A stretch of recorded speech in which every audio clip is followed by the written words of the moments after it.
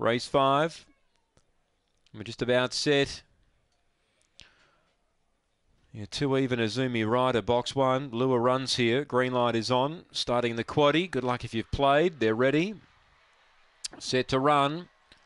Away, Azumi Rider missed it. Speed Lone Star today is going to boot through and lead. Favourites back about fifth. Lone Star held the lead. About a length and a half clear of Big Lebowski. Out wide now, Big Rough getting busy. Uh, Scylla Brown, Rising Girl. Out wide, Ruby's Willow. Then Destiny Montana. The favourite Azumi Rider last. It's Lone Star narrowly.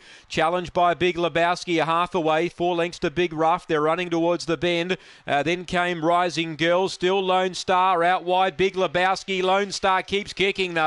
Lone Star from Big Lebowski and Big Rough. Fourth close, Rising Girl or Ruby's Willow, Destiny Montana and Azumi Rider. So number two, Lone Star, the winner. Number two. Too good.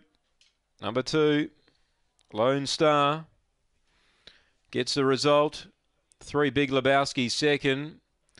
And seven Big Rough uh, runs third there. Should be two, three, seven. Kept kicking. Number two, 30 and 23 the run. And uh, Lone Star at about the $7.80 price point gets the money on the fifth race on the card. Three is second.